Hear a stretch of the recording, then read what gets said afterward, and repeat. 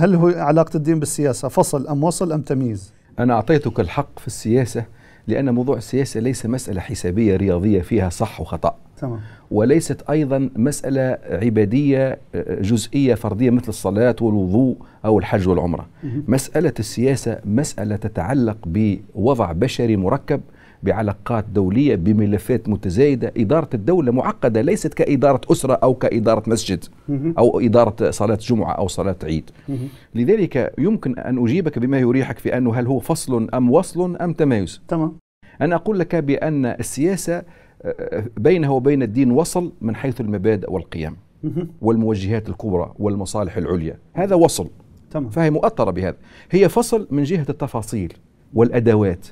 والماجريات والمقتضيات التي تأتي بحسب سياقها المقتضيات الإجرائية المقتضيات الدستورية المقتضيات العرفية الإدارية. يعني ممارسة الممارسة والتفاصيل والمواقف والتحالفات والتقنيات والإعلام السياسي والخطاب السياسي والتداول السياسي مفردات السياسة في تجددها معرفيا. الآن فيه شيء اسمه علم الخطاب. يدرس للسياسيين وغيرهم. هذا العلم الخطاب بموضوعه وبإمكانياته وبأدواته. هل هذا موصول بالشريعة وصلا مثل العبادة صلاة والصيام ليس موصولا. موصول بالمبادئ العامة وأن الخطاب لابد أن يكون خطابا بمصداقية بموضوعية بمهارة أن يحقق هدفا أن يدفع إلى أمل أن يدرأ خطرا داهما.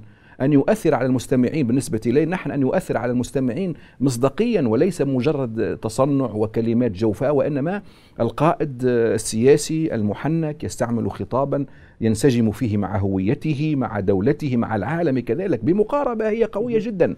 ولذلك التفاصيل والنظم في العموم الأغلب والإجراءات والصيغ والأدوات والبرامج والخطط والمقاربات والمعادلات هذه كلها من جهة تفاصيلها وما جرياتها وتطوراتها وما يعرض لها من الموانع. هذا كله فصل. مفصول يعني طبعا. لأنه محل. فصل, فصل من حيث يعني ليس كل خطوة نخطوها نريد نص من كتاب ما, ما, ما يمكن هذا وإنما يحكمنا مبادئ عامة. مبادئ. وهذا, طيب. وهذا الذي قال العلماء بأن الأحكام والنصوص محصورة والتفاصيل غير محصورة.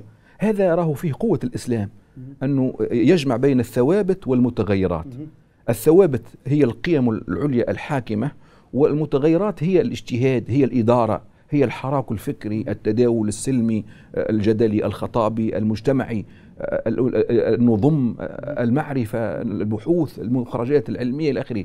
فإذا وبناء على هذا الوصل والفصل الوصل من حيث المبادئ والمقاصد العليا والنصوص الكلية والفصل في التفاصيل والمقتضيات الإدارية والإجرائية من بمجموع هذا نحقق ما يصطلح على تسميته بالتمايز مم. ما هو التمايز؟ التمايز هو المجال السياسي له ميزات آه، يفرق بها عن ميزات العبادات مم. العبادات مضبوطة في زمانها ومكانها وهيئتها وكيفيتها والسياسة غير مضبوطة في أوقاتها في كيفياتها في برامجها مم.